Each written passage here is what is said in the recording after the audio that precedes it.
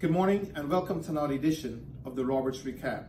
As a reminder, this is where we bring you the most salient items from our most recent board meeting in three minutes or less for those of you who were not able to attend our meetings. The first item that I want to bring to your attention is the fact that as we think about preparing for the next school year, we are looking at every instructional option that meets the needs of all of our students. In that regard, our cyber provider will likely change for the upcoming year. At the last board meeting, our committee and core team members presented to the board a proposal for a new cyber provider, one that we believe will truly meet the needs of our students and families. The board is taking this under consideration at this time and will likely have a vote at the upcoming meeting on August 22nd. So look forward to information about our new cyber provider.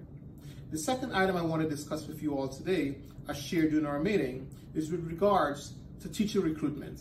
I know that nationally there's a teacher shortage and we've experienced the same impact of the national shortage. Going into the summer, we had just under 40 teacher vacancies. Here's the great news.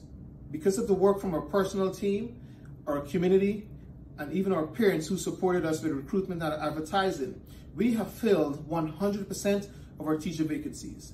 And so while we will likely begin the school year with some substitute teachers, parents and students rest assured that each and every one of our students will have a teacher in their classroom this school year. That is exciting news. And finally, as we prepare for an exciting welcome back to school on the 25th for teachers and certainly the 30th for students, most of you are coming back to upgraded and recently renovated buildings.